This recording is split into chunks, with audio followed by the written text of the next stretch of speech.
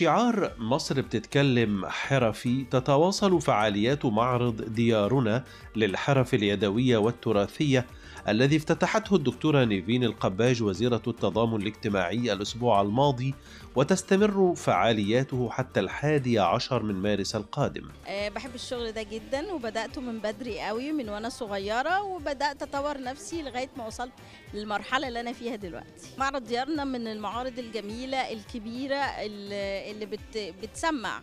يعني أنا لما أحضر معرض ديارنا بتبقى حاجة كويسة بالنسبة لي. في شهرتي في انتشاري. بعرض شغلي على كمية كبيرة من الناس وفئة ممكن أنا معرفش أوصل لها في أي معرض تاني.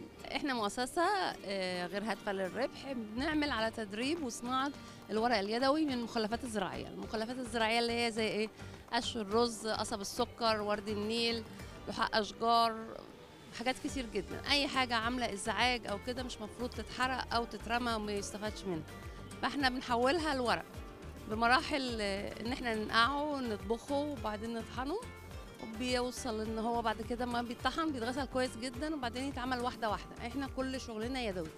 الورقة يدوي بالحجم اللي إحنا عايزينه. زي الورق ده اللي إحنا ماسكينه أو بنعمل منه منتجات طبعا كتير جدا منها النوت أكتر حاجة الناس بتحبها يعني.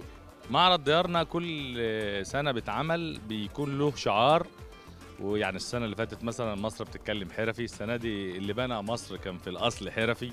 فهي مصر آه، من- منتبهة جدا لأن الحرفيين المصريين. هم سبب في دعم الاقتصاد المصري. مسابقات كمان؟ مسابقات أيوه. يعني أضمن جري الله.